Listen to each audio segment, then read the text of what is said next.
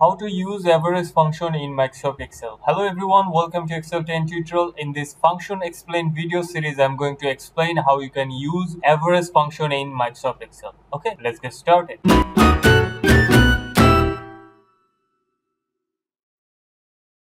The best way to learn a function is to apply it and I'm going to apply the average function in this workbook and while I'm applying I will explain how you can use it, what are the parameters, what are the important things when you are using average function in Microsoft Excel. Okay, let's input some numbers here, autofill it.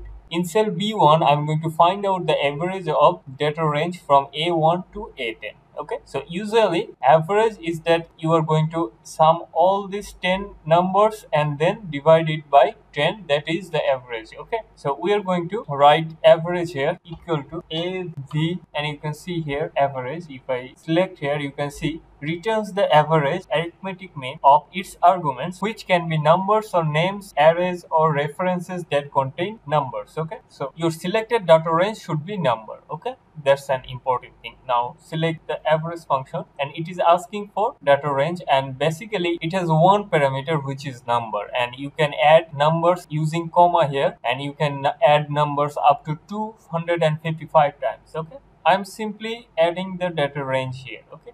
And I don't need to use any comma here or I don't need to go to the second parameter here. If I need to add another cell here which is not adjacent here or which is not in the same data range, I could use a comma to add it. And right now I have this data range which is selected from A1 to A10 and I am closing the function with close parenthesis.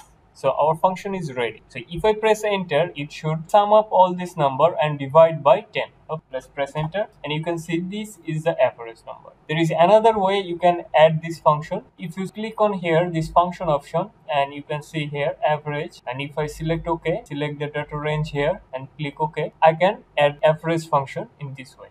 Okay and let's add a manual calculation here so that we can ensure if average function is working properly or not. We need to sum up all these numbers so let's use sum function. If you need to learn about sum function you can check that in this video. So here and divided by 10 and if i press enter same result. So this is our manual result and this is the average function. If i remove one it doesn't matter. Let's remove it. Okay now, if I delete a data range here, okay, I'm simply pressing delete. And now there are two different results here, okay. Which one is correct? And the correct one is average.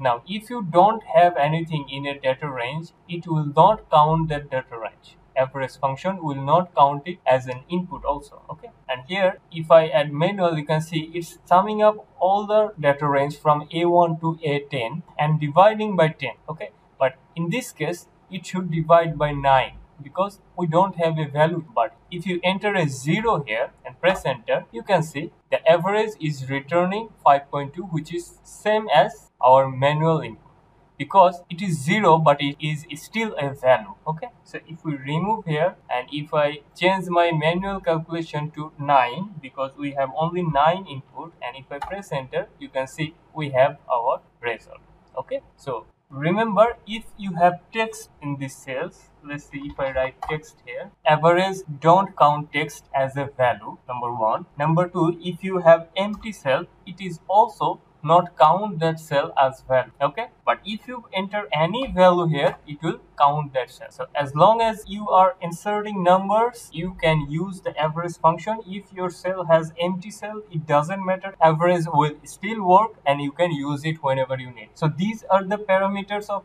average function. These are the important things that you should consider about average function. And i think i have explained it properly to you. Now if you like this video series please let me know. I'm going to explain a lot of function in microsoft excel. Okay thank you. Thanks for watching. See you in the next tutorial. If you can please support the channel through patreon. See you in the next tutorial and don't forget to subscribe. Thank you